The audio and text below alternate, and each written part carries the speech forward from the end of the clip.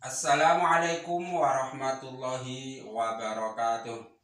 A'udzu billahi minasyaitonir rajim. Bismillahirrahmanirrahim. Alhamdulillahi rabbil alamin.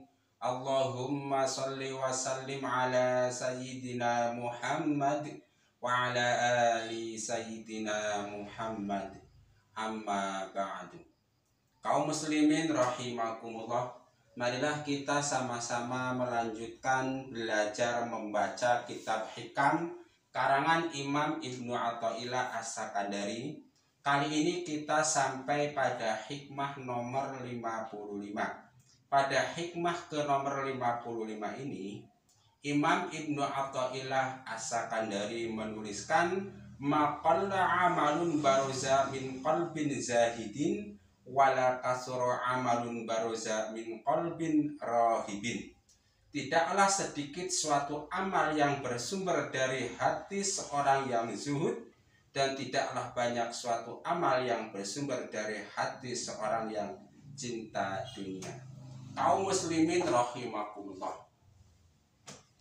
Ini sumber masalahnya itu dunia ada, ada dalil yang mengatakan bahwa dunia dan seisinya itu terlaknat kecuali misalnya dunia-dunia yang membuat kita ingat kepada Allah atau orang yang berzikir kepada Allah atau orang yang belajar atau orang yang mengajar. Nah, kira itu.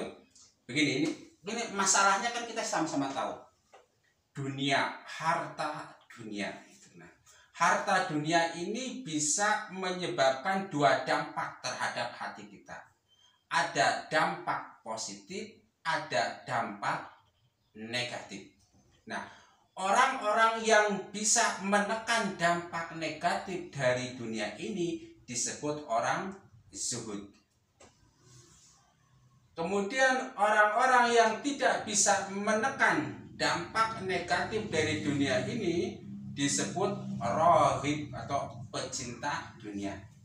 Ingat, ini adalah sikap hati. Kita boleh memiliki dunia sebanyak-banyaknya.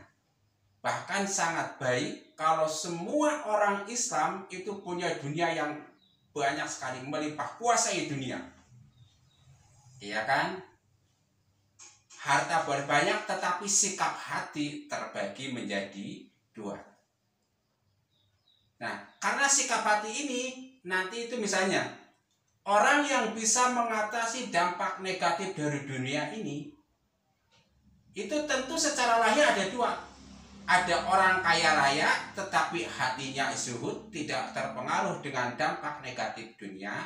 Ada juga orang miskin dan hatinya juhud tidak terpengaruh oleh dampak negatif dunia. Ini dua-duanya baik. Jadi mau kaya, mau miskin, asal hatinya zuhud, itu top marketing. Yang kedua, ada orang yang rohid, cinta dunia, yaitu orang yang tidak bisa mengatasi dampak negatif dari dunia. Tentu di sini ada dua tipe orang ini. Pertama, orang yang kaya raya. Orang kaya raya dan hatinya adalah cinta dunia Lalu yang kedua ada orang miskin yang hatinya juga cinta dunia. Kedua orang ini baik orang kaya maupun orang miskin yang hatinya rahib cinta dunia adalah tidak baik. Jelas ya? Jadi persoalannya adalah persoalan sikap hati bukan persoalan banyak atau sedikit dunia. Kalau persoalan banyak sedikit dunia, orang miskin bisa jadi cinta dunia, orang kaya bisa jadi cinta dunia. Tetapi sebaliknya, orang kaya bisa jadi zuhud, orang miskin juga jadi bisa ju juhud. Nah, kata kuncinya adalah ju juhud. Syukur-syukur zuhud yang kaya raya. Kalau dikasih zuhud yang miskin jelata juga nggak masalah, ya gitu ya. Nah, setelah kita tahu dua karakter hati hamba Allah ini, maka amal perbuatan atau ibadah yang keluar dari hati yang zuhud itu nggak pernah ada yang sedikit. Meskipun dia beramal sedikit tapi nilainya sangat banyak bisa memenuhi dunia dan seisinya. Ya kan? Tetapi sebaliknya, kalau amal ibadah keluar dari hati orang yang rahib, cinta dunia, mau banyak kayak apa pun nilainya kecil. Ya kan? Ya.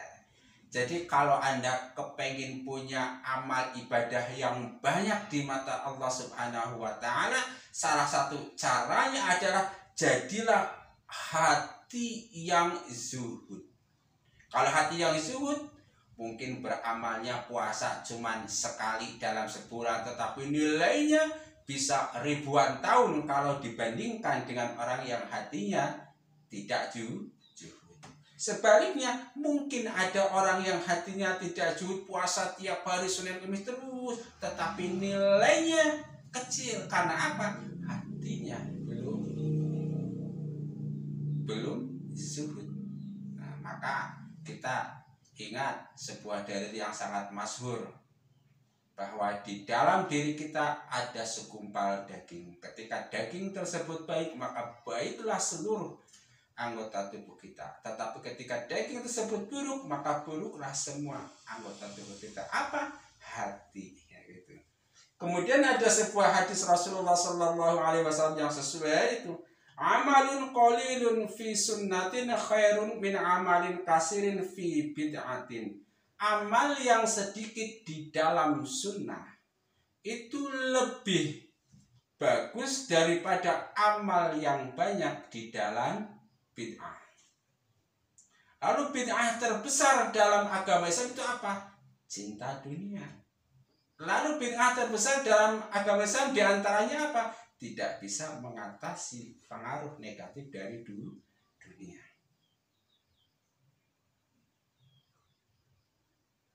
Ini sekatan zuhud yang pertama misalnya awalan filmal wa alamatuhu jadi Contoh orang yang hatinya zuhud terkait dengan amal itu apa? Ayastawi indahu al-zahab wa. Kalau seseorang hatinya itu sudah bisa bersikap sama terhadap emas atau debu. Kalau dia oleh Allah Subhanahu wa taala dikasih emas yang banyak, santai. Dia tahu bagaimana cara mengelola emas di jalan, tapi ketika dia dikasih debu misalnya kemiskinan atau apa dia juga santai. Karena apa? Dia tahu bagaimana cara mengelola de debu. Itu namanya orang yang zuhud. Wal fiddah wal hajar. Wal wal fakri jadi kalau orang dikasih kekayaan sikap hatinya tetap zuhud dikasih kemiskinan hatinya tetap zuhud itu zuhud beneran. Kalau baru bisa sebelah bisa dikasih kekayaan zuhud ketika dikasih miskin jadi nggak zuhud nah itu zuhudnya belum tenan. Wal man'u wal nah itu masalah harta. Lalu zuhud yang berkaitan dengan pangkat misalnya. Sanian filja wal marotib wa alamatu. Tanda-tandanya apa? Ayastawi indahu al izzu wadhillu nah kalau orang dikasih kemuliaan siap. Dikasih kerendahan siap. Itu tandanya orang zuhud zuhud. Tetapi kalau orang siapnya hanya dikasih kemuliaan pangkat saja itu tandanya zuhudnya belum sembuh sempurna. Walman awal atau nah ketika oleh Allah dicegah tidak diberikan banyak hal siap. Nggak masalah. Ketika diberi banyak hal siap. Nggak masalah. Itu tandanya orang-orang zuhud zuhud nah Lalu kenapa nilai ibadah dari orang yang hatinya zuhud itu lebih besar daripada orang yang beribadah dari hati yang cinta dunia? Karena ibadah itu zahidi billah lillah. Ibadahnya orang yang zuhud itu karena Allah dan untuk Allah. Wa ibadatul rahib bin nafsi nafsi. Sementara ibadahnya orang yang cinta dunia itu untuk, untuk apa? dengan diri karena dirinya untuk dirinya. Misalnya yang contoh paling mudah dicontohkan itu biasa duha. Orang sholat duha itu karena dia kepengen kaya kekayaan untuk dirinya. Penyebab dia ibadah sholat duha itu karena dirinya. Nanti hasil yang diharapkan untuk dirinya. Itu bin nafsi lin nafsi Allahnya nomor berapa nggak tahu itu tandanya ibadahnya orang yang roh roh cinta dunia Ibadatu zahid hayatun baqiyatun.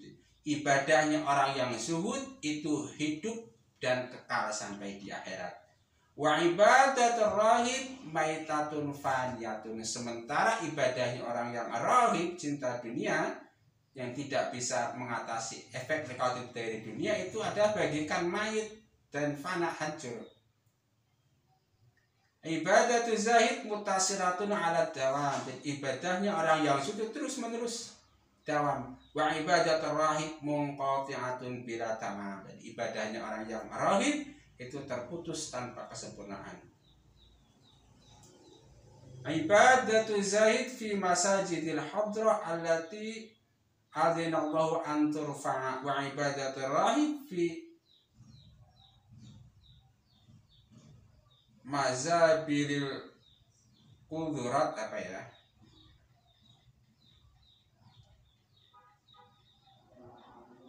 Nah singkatnya jadi kesimpulannya maqalla amalun baroza min qalbin zahidin wala kathura amalun baroza min qalbin rahibin.